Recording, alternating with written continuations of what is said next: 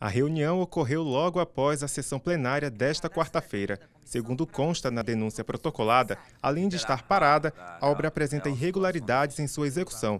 O presidente da comissão explicou o que será feito a partir de agora. Nós deliberamos hoje, né, a maioria da comissão, para que façamos diligência junto à Secretaria de Infraestrutura para sabermos a motivação da paralisação dessa obra. Né?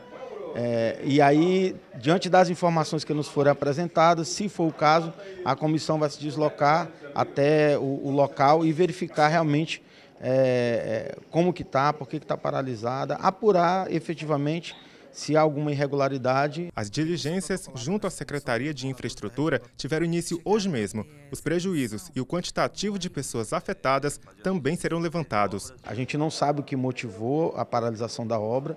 É, precisamos que a CINF nos preste essas informações necessárias e, em recebendo as informações, nós é, a comissão tomará as providências cabíveis. A grande preocupação é porque a gente já está com o inverno chegando, né? E a gente sabe que após o inverno fica praticamente impossível fazer qualquer manutenção nessas vicinagens. Então a preocupação da comunidade é justamente essa, que é, é, já vem tendo problemas com relação à, à não execução da obra. As informações sobre os valores do projeto e a origem dos recursos serão apuradas durante as diligências.